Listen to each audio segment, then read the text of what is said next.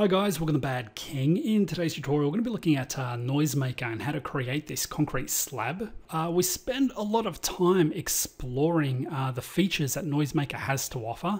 We'll look at everything from the basic controls like scale, magnify by mask, strength, and so forth. We're also looking to things like color blend and really explore this curve editor and figure out how to use it properly. Uh, we also look at uh, some of the things like 3D versus UV. Uh, we spend a bit of time creating our own UV map that we then apply with inside Noisemaker and, uh, and sort of figure out the pros and cons of using something like that, as well as diving into our noise plugin over here and using some of the features that uh, Noise plugin has available, as well as this uh, alpha button down the bottom.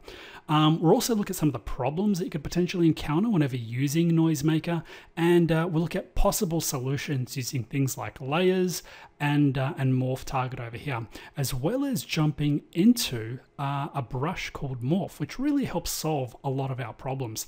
So that said, guys, uh, let's not waste any more time and, uh, and let's get into it.